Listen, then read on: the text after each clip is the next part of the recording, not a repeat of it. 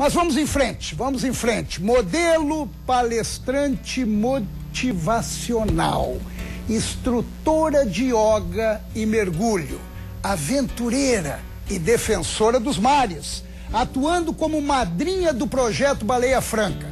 Quer mais? Quer mais? E tem mais, e tem muito mais. Oito vezes campeã mundial de apneia conquistou este ano o título de atleta com o maior número de recordes mundiais da história desportiva do Brasil. Pouco? Haha, é de trancar a respiração. Seja bem-vinda, Caroline Meyer.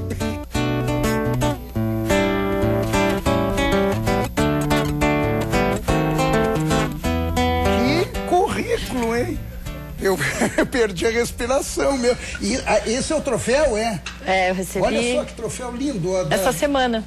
Essa semana Nessa você semana, recebeu? é. Olha. Na Rank Brasil, eles fazem essa medição, né, de pesquisa, né, e depois eles homologam a, o recorde. Oh, que troféu lindo. É, bonito. Tá lá no livro no livro é, dos esse, recordes. É, eu estou no livro dos recordes mundiais, que é o Guinness Book. Ah. E esse é, essa é uma empresa nacional mesmo, é a Rank Brasil, é outra empresa que no Guinness Book eu tenho um recorde homologado. E essa é, é, é um compêndio. Eles homologam o título de atleta com o maior número de recordes mundiais para o país, né?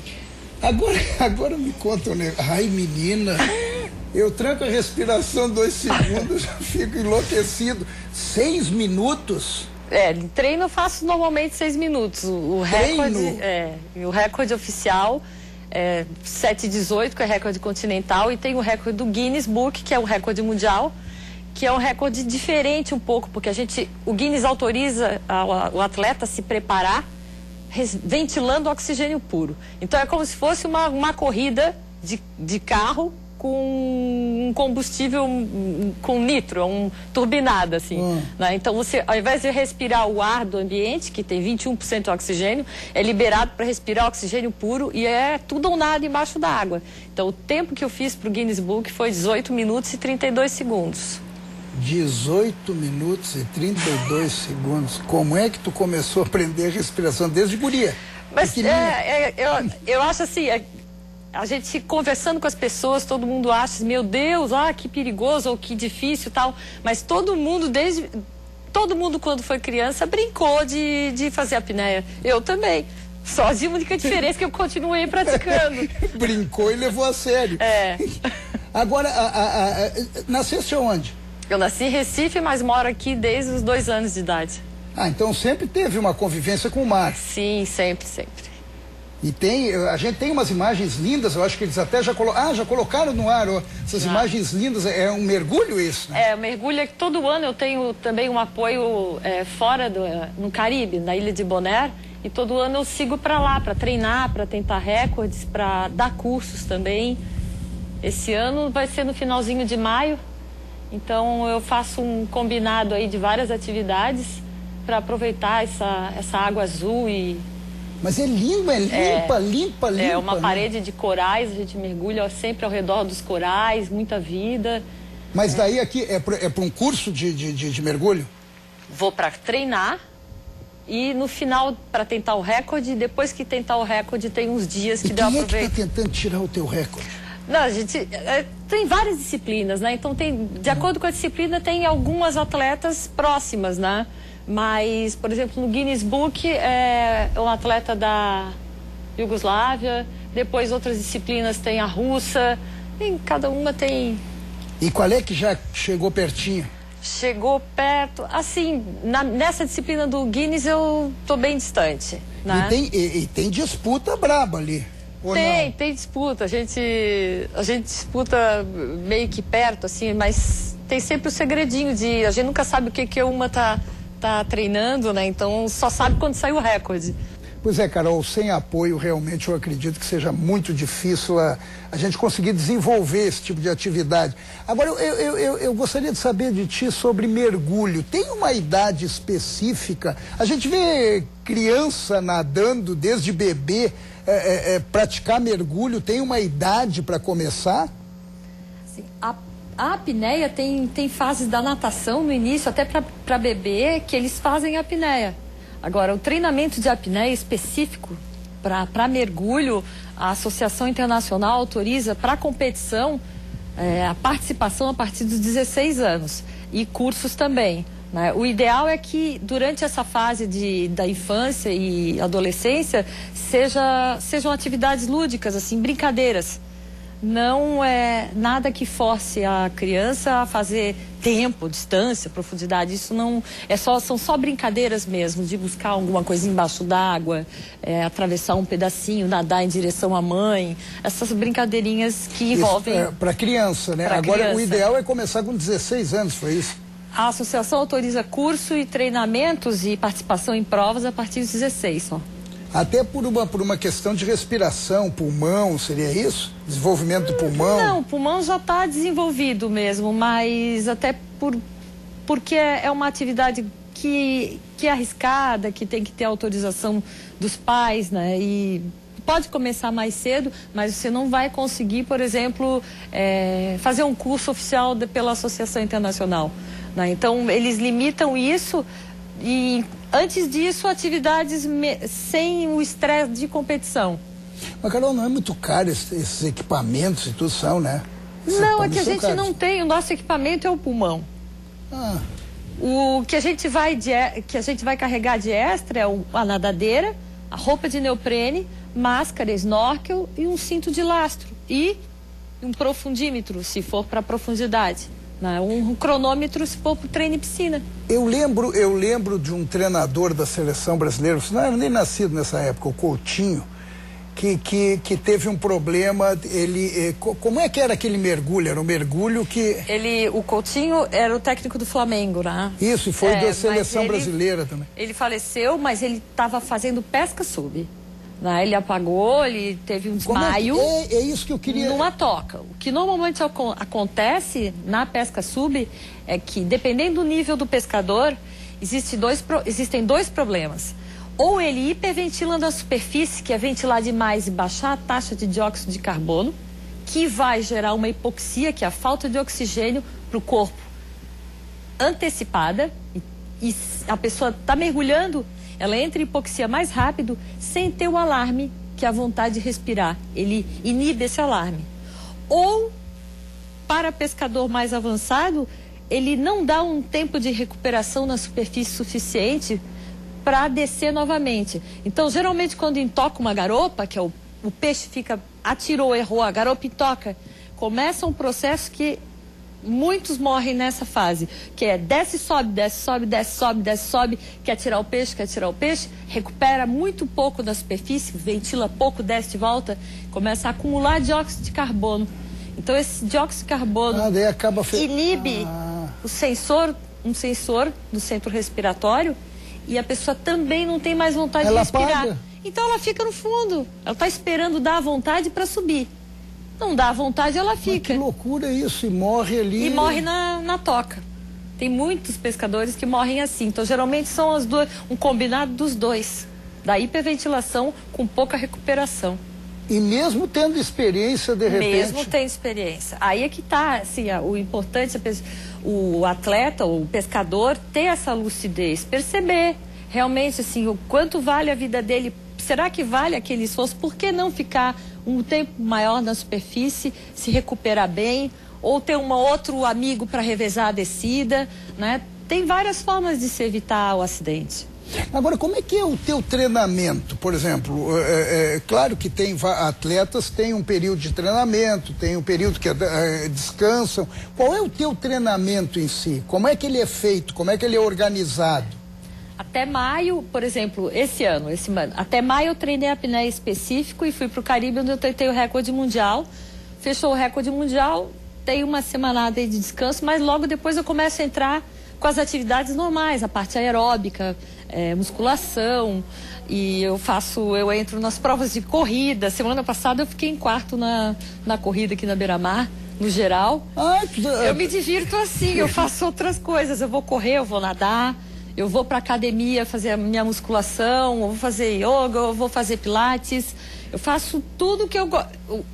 Mas a minha tudo, vantagem é que eu tudo, gosto de Mas tudo. isso tudo faz parte do faz teu treinamento? Faz parte do treino, porque... Ou é, uma, é uma, um prazer teu? As duas coisas. Por isso que fica fácil para mim, porque eu gosto. Né? Então não existe nenhum sacrifício para mim, por exemplo, ir correr ou nadar ou fazer musculação, porque eu gosto, gosto de pedalar. Então eu tô, eu me mantenho condicionada até entrar no treino de apneia de volta, o treino específico para. E é uma vez por ano a, a, a competição? É, é, são tentativas de recorde que eu escolho. Então eu digo assim, eu vou tentar um recorde tal. Então eu começo a treinar para isso e num período X eu vou para o local para tentar. Ah, e, eu escolho. Aqui no Brasil tem essa competição? Tem competições, mas de profundidade a gente não consegue é, profundidade adequada aqui. Então a gente tem que viajar, tem que ir para fora fazer. Ah, então é sempre fora, sempre disputa fora. é sempre fora. É. E agora... De piscina pode aqui, mas normalmente profundidade tem que ser fora. É, a, a, gente abriu, abriu o programa de hoje até com um grupo de mulheres fazendo culinária, até eu brinquei dizendo que era terapia gastronômica. Agora o seguinte, comida, alimentação, é, é, ela, ela tem, tem, tem que ter um certo cuidado para quem pratica apneia? É, o, a atenção da gente é para o carboidrato mesmo. O carboidrato é a principal alimentação. É claro que a gente tem que ter uma dieta balanceada, equilibrada mais próximo de uma tentativa de recorde ou de uma performance, aí a prioridade é carboidrato. A gente, ele, a gente precisa dessa energia disponível no músculo. A gente precisa dessa energia é, vinda do carboidrato, direto aqui ao glicogênio, direto na, na corrente, para a gente poder ter energia e para o cérebro poder manter. Uma boa o... macarronada é contigo Sim, mesmo. É. Agora, o, eu vou ser um pouquinho discreto. Além desses troféus maravilhosos, desses títulos maravilhosos, dá para viver da disputa pela apneia? É, eu, eu, faço várias atividades, né? Mas assim, é, eu teria como é, viver da apneia hoje, daria, através dos cursos e palestras, hoje sim. Ah, porque tem as tuas palestras, tem as palestras também, né? também. Então isso aí gira assim não é uma coisa que eu consigo lidar com várias atividades. Então eu vou, vou, vou ter, eu tenho fases assim. Tem época que eu estou no treino, que então eu suspendo um pouco os cursos de final de semana. Então e, e o trabalho no banco é durante a semana. Então eu vou é, dividindo bem as atividades dá certo. E palestra, na, nas palestras, qual é o foco? Eu tenho duas versões de palestra. Uma palestra mais light, que é para o público que gosta de mergulhar. Tem a motivacional, né? E tem a motivacional, que é para empresas. Ah, essa aí que me interessa. É. Fala um pouquinho dela. é, ela foi feita, assim, ela foi construída por um profissional que é de Minas Gerais, é, Moacir Castellani. Ele é administrador de empresas, psicólogo, é coach de empresarial. Ele veio para cá, me ajudou, me ajudou a montar a palestra, me instruiu, eu fiz um treinamento com ele. E dali para frente ele falou, ó, agora é contigo, né? Eu investi né, nesse trabalho e aí dali fazem mais ou menos sete anos eu venho dando essas palestras. Ela é focada em alguns livros, né, mas principalmente no envolvimento total. Então eu, trabalho assim, eu falo muito é, das experiências que eu tive no mergulho durante a minha vida, dos recordes porque muita gente vê é, o atleta e os recordes, mas não sabe que por trás dos oito recordes mundiais e mais todos os outros menores, tem muita coisa que, que deu errado ou que eu contornei. Então, cada, tem muita história por trás que ajuda no dia a dia também das Uma pessoas. Uma coisa que deu errado e que de repente deu para contornar. Ah, eu acho legal assim que o primeiro recorde mundial que eu fiz, eu fui para a França e eu eu fui com o foco de aprender a mergulhar em profundidade. E de tanto eu repetir o mergulho em profundidade, eu tive uma otite, que é uma inflamação no ouvido. E porque eu tive otite, eu podia ficar chorando, esperneando, de mal com a vida, né? Aí eu decidi botar roupa de neoprene inteira e ir para a água treinar a outra disciplina, que não era a profundidade. E não me passava pela cabeça fazer recorde mundial. E ali que eu estava longe do recorde mundial. Só que, porque eu não podia treinar a profundidade, eu fiquei treinando só a estática. e comecei a chegar perto do recorde mundial e fiz o recorde mundial na França. Ah, então, era um... então quer dizer o seguinte, um obstáculo, na verdade, pode era, até... era outra direção. Ah. E que se tu não está aberto, se tu, tu, tu não vê a, a tu, tu, não consegue ver, tu não vê a porta na tua frente. Às vezes tu acha que é um muro e ele é uma, uma janela enorme aberta para te abraçar e atravessar. Ah, então o e... primeiro recorde mundial foi por causa do meu otite. Foi por causa do otite. Nossa, e foi uma choradeira, porque eu, quando eu virei na água, que a gente faz uma virada, que a, o ouvido doeu na hora, porque já estava inflamado. é, é, uma loucura isso. É, dói demais. E eu comecei a chorar, e daí logo depois eu parei e busquei a saída. Que na verdade era o caminho que a gente.